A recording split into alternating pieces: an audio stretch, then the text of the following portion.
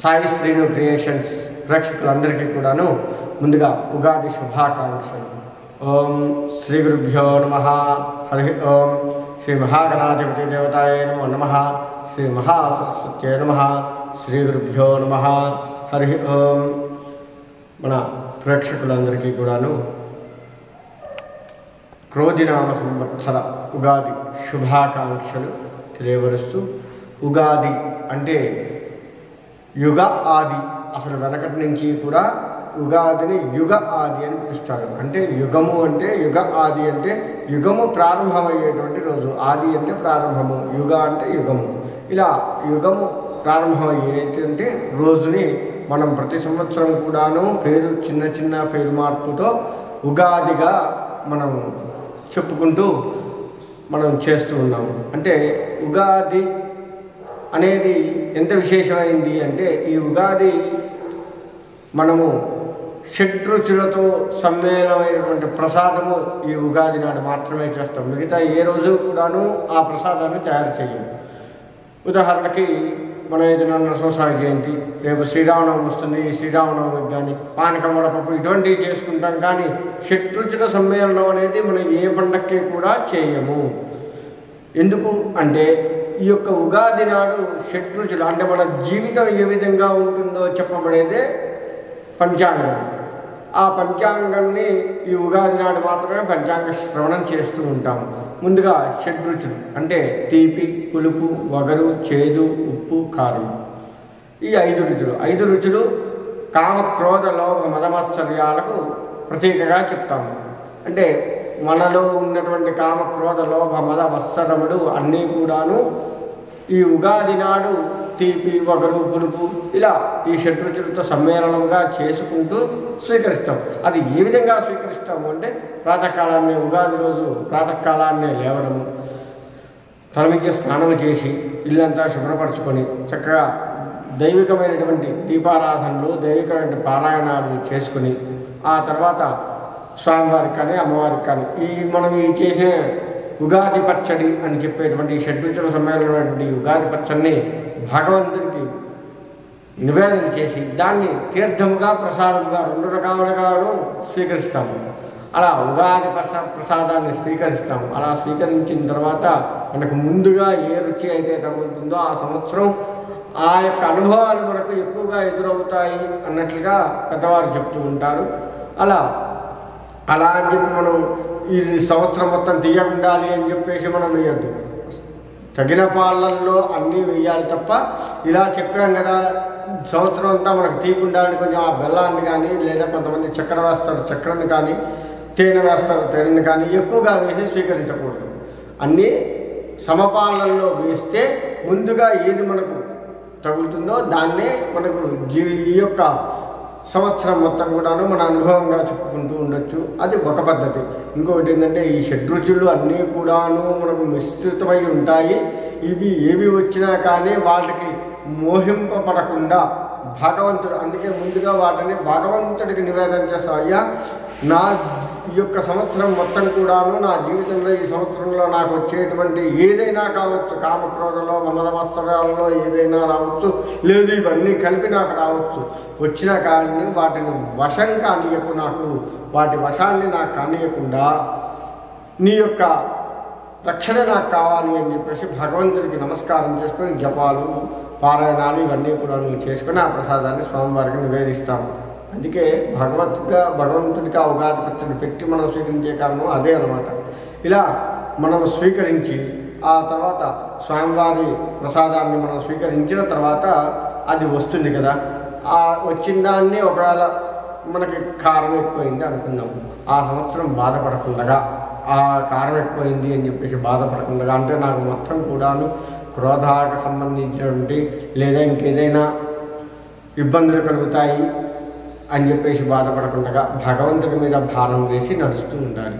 అంతేకాకుండా పంచాంగ శ్రవణం చెప్తాము ఈ సంవత్సరం. అంటే పంచాంగ శ్రవణం అంటే మనకి రాశులు మన ఆదాయం వ్యయం ఎలా ఉన్నాయి రాజ్యపు అవమానాలు ఎలా ఉన్నాయి ఇవన్నీ కూడాను మనం పంచాంగ శ్రవణాలలో విషయమై ఉంటుంది పంచ అంగములు పంచాంగము అంటే పంచాంగములు. పంచాంగాలు ఏవి అంటే తిథి వార నక్షత్ర యోగ కర్ణములు.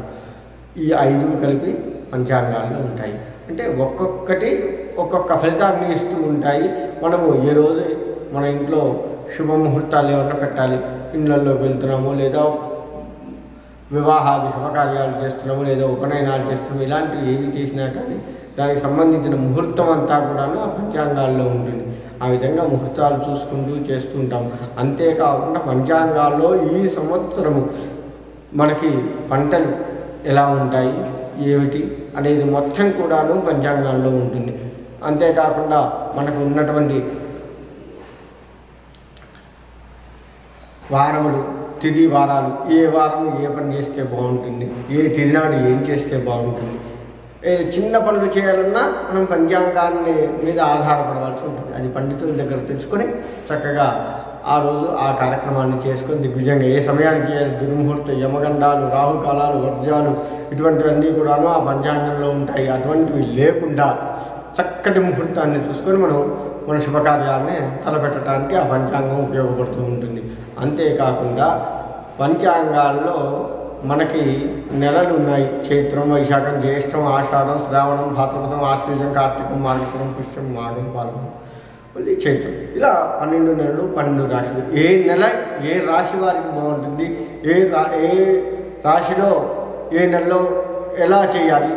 ఇలాంటి అనేక రకాలుగా ఉంటూ ఉంటాయి. అవన్నీ కూడాను మనం పండితుల దగ్గర తెలుసుకుంటూ ఉండొచ్చు. అంతేకాకుండా ఈ ఈ పన్నెండు నెలల్లో నవనాయకులు ఉంటారు.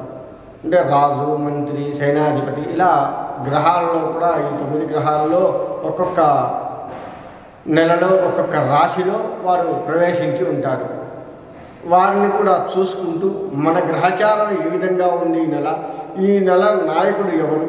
ఇలా చూసుకుంటూ ఆ రోజు ఆ నెలలో ఆ పనులు మొదలు పెట్టడం ఉత్తమమైనటువంటిది అనమాట ఇలా పంచాంగ శ్రవణాలు అనేక రకాలుగా పంచాంగాల్లో పొందబడి ఉంటాయి. అందుకే పంచాంగ శ్రవణం అనేది ఉగాది రోజు మాత్రమే చెప్పబడుతుంది. అందరికీ కలిపి కూర్చొని వెనకట ఏం చేసేవారయ్యా అంటే ఏదైనా దేవాలయాల్లో లేదు ఏదైనా రచ్చబండ అలాంటివి ఏమో ఉండేవి. అక్కడ అందరూ కూడా పెద్దవారందరూ కూడా కూర్చొని ముఖ్యంగా దేవాలయాల్లో అయితే ఇంకా శ్రేష్టం అనమాట అలా దేవాలయాల్లో ప్రముఖ దేవాలయాలు లేదా ఆ ఊరిలో ఉన్నటువంటి దేవాలయాల్లో అందరూ సాయంత్రం పూట కూర్చొని సాంప్రదాయ దుస్తులు ధరించి కూర్చొని ఈ పంచాంగ శ్రవణం వింటారు. ఎందుకు వింటారయ్యా అంటే ఇప్పుడు చెప్పుకున్నాం కదా మనం ఏ పని ఎట్లా చేయాలి? దాంతో పాటుగా ఇది ఈ సంవత్సరం మొత్తం కూడా వ్యవసాయం ఏ విధంగా ఉంటుంది? వర్షాలు ఎప్పుడు పడుతూ ఉంటాయి? వర్షానికి తగ్గట్టుగా మనం ఎలా నడుచుకోవాలి? వాతావరణం ఎండలు ఎంత తీవ్రంగా ఉంటాయి? సూర్యుడు ఉచ్చలో ఉన్నాడా? నీచలో ఉన్నాడా? ఉచ్చలో ఉంటే ఎంత ఎక్కువగా మనకు వేడి తగులుతుంది? దాని నుంచి మన పంటల్ని ఎలా రక్షించుకోవాలి? మనం ఎలా జాగ్రత్తగా మసలుకోవాలి అనేది కూడాను పంచాంగంలో చెప్పబడుతుంది. ఆ విధంగా పంటలకు సంబంధించి ధాన్యాన్ని మనం అనేక రకాలైన ధాన్యాలు వేస్తూ ఉంటాము. వరితో పాటుగా అనేక ఆ యొక్క భూమి పరిస్థితిని బట్టి మనము ధాన్యం వేస్తూ ఉంటాము. ఆ ధాన్యానికి సంబంధించినటువంటి విషయం మొత్తం కూడా ఏ పంట ఎప్పుడు వేయాలి ఎప్పుడు కాపుకొస్తుంది మళ్ళీ దాన్ని ఎప్పుడు కొయ్యాలి ఎంత లాభసాటిగా పండించుకోవచ్చు అనేది మొత్తం కూడాను పంచాంగంలో వివరించబడి ఉంటుంది. కాబట్టి పంచాంగ శ్రవణాన్ని మనం ఈ యొక్క ఉగాది రోజు వింటూ ఉంటాము ఇలా ఉగాది అంతేకాకుండా ఉగాది మనకు నాలుగు యుగాలు ఉన్నాయి. ఒక్కొక్క యుగంలో ఒక్కొక్క నెలలో వచ్చి ఉండేది మనకి ఉగాది పండుగ. అంటే మనకు ఇప్పుడు ఈ కలియుగాలు లెక్క వేసుకుంటే చైత్రమాసంలో వచ్చింది. అదే మనకు యుగాలు నాలుగు యుగాలు కృతయుగము త్రేతాయుగము ద్వాపరయుగము కలియుగము. ఇలా నాలుగు యుగాలు ఉన్నాయి. ఈ నాలుగు యుగాల్లో ఎప్పుడెప్పుడు ఉగాది వచ్చిందో వివరిస్తాను. జాగ్రత్తగా వినండి. కృతయుగము. కృతయుగంలో వైశాఖ తృతీయ శుక్లపక్ష తృతీయ తిథి. వైశాఖ మాసంలో శుక్లపక్ష తృతీయ నాడు ఉగాది చేసుకునేవారట కృతయుగం. అంటే నారసింహస్వామి వారి యుగం. ఆ ప్రత్యేకం అనేది. తర్వాత వచ్చేసి త్రేతాయుగం. కార్తీక శుద్ధ నవమి రోజు చేసుకునేవారట. అది. అది రాముడి యుగం. ద్వాపర యుగం. ఇక ద్వాపర యుగం ఆశ్వీజ త్రయోదశి శుద్ధ త్రయోదశి. ఆశ్వీజ మాసంలో శుద్ధ త్రయోదశి నాడు చేసుకుంటూ ఉంటారు. అది కృష్ణుడి కాలంలో.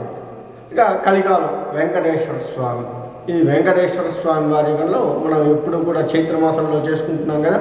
అలా చైత్రమాసంలో అంటే ఒక్కొక్క యుగంలో ఒక్కొక్క నెల ఒక్కొక్క తిథి నాడు మనకి ఉగాది వస్తూ ఉంది. ఇలా నాలుగు యుగాల్లో నాలుగు రకాల నెలల్లో మనం ఈ ఉగాదిని నాలుగు రకాలైనటువంటి నెలలు నాలుగు రకాలైనటువంటి తిథులు అలా ఉగాదిని చేసుకుంటూ ఉన్నాము.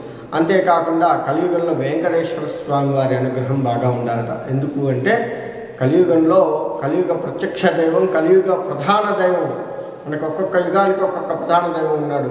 కృతయుగం నారసింహస్వామి త్రేతాయుగం రాముడు ద్వాపరయుగం కృష్ణుడు కలియుగం వెంకటేశ్వర స్వామి. ఇలా నాలుగు యుగాలకు ఒక్కొక్క యుగానికి ఒక్కొక్క స్వామి ప్రధాన దేవతగా ఉన్నాడు. కలియుగంలో ప్రధాన దేవత ఎవరుగా అంటే వెంకటేశ్వర స్వామి. కాబట్టి వెంకటేశ్వర స్వామి ఆలయాలను దర్శిస్తూ ఉన్నట్లయితే మనకు ఆ స్వామివారి అనుగ్రహంతో పాటుగా కలిబాధలు కూడా పోతాయి. కాబట్టి అందరూ కూడా చక్కగా భాగవత నామస్మరణ చేసుకుంటూ ఉండి ఈ యొక్క ఉగాదిని జరుపుకుంటూ ఈ సంవత్సరం మొత్తం కూడా ఆనందంగా ఉంటారని కోరుకుంటూ సందేశం